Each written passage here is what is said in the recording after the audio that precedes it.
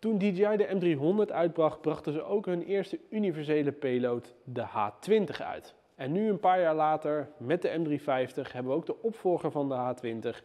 Dit is de DJI H30.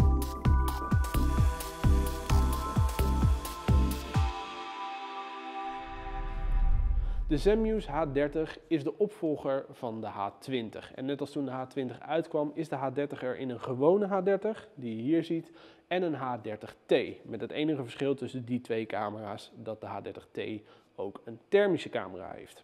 Nou, als we dan naar die camera kijken en als we die dan vergelijken met het voorgaande broertje, de H20T, dan zie je een beetje gelijkenissen, maar toch ook wel wat veel verschilletjes. Om even door de sensoren heen te lopen, we beginnen eventjes bij de wide camera. Je hebt de standaard vaste wide camera in de H30. Bij de H20 was die 12 megapixel en bij de H30 is die 48 megapixel geworden. Daarnaast vind je de laser rangefinder. Ook die is geüpgrade, want die kan qua afstand nu in plaats van 1200 meter een bereik van maar liefst 3000 meter afstanden meten. Daaronder vinden we de grote zoomlens. Ook die is verbeterd. De chip is van 20 naar 40 megapixel resolutie gegaan. En de optische zoom is van 23 naar 34 keer verhoogd. En daardoor kun je nu in combinatie met die 34 keer optische zoom en nog een stukje digitale zoom in totaal 400 keer hybrid zoom halen.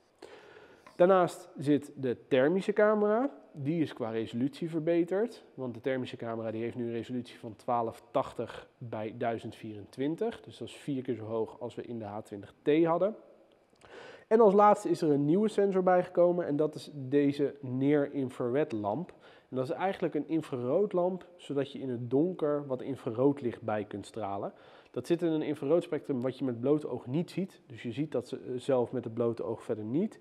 Maar het zorgt er wel voor dat het beeld in combinatie met de zwart-wit stand in het donker veel beter beeld geeft.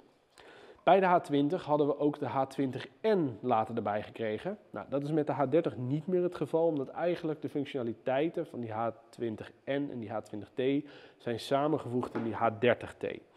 De H20N had je onder andere sensoren die wat lichtgevoeliger zijn, wat nu dus ook standaard in die H30 zit.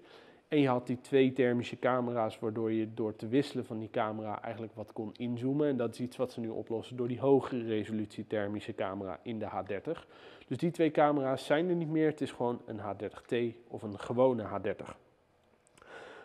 Als we dan verder naar die thermische camera kijken, los van de resolutie, is er nu ook nog een speciaal filter voor de thermische camera en daarmee kan je de gevoeligheid van die camera veranderen. Standaard kan die van 0 tot 600 graden meten, maar op het moment dat je dat filter ervoor zet, dan kun je tot 1600 graden temperatuur meten. Naast dat de camera's zijn verbeterd, zijn ook de intelligente functies wat aangepast. We kennen natuurlijk vanuit de H20 onder andere de AI Spotcheck feature en de high-res grid foto. Die vind je ook op de H30. Maar er zijn ook een paar nieuwe functies toegevoegd. Als eerste heb je de High Sensitivity Smart Capture. Dat is eigenlijk een beetje een soort HDR-foto, dat als je een object hebt wat een beetje lastig is qua belichting, dat hij die belichting in die foto goed trekt, zodat het hele plaatje goed belicht is.